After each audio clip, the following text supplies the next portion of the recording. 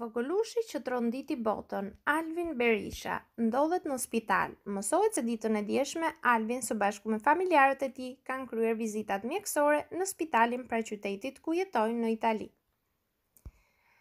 Një ekip mjekësh italian do të ndjekin shëndetin e djalit dhe në veçanti këmbën për një ndërhyrje të mundshme kirurgjikale të specializuar, pasi ajo i ka krijuar vështirësi në ecje.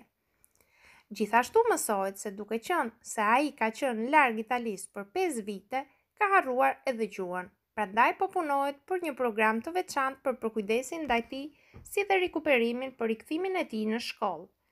Vogëlushi shqiptar i cili jetoi për rreth pesë vite në Siri ka lindur në Itali e ka një leje qëndrimi të përhershme në këtë vend së bashku me babain dhe motrat e tij. Alvin është shprehur se e ka marrë malli për shokët dhe ka dëshirë të kthehet sa më shpejt në shkollë.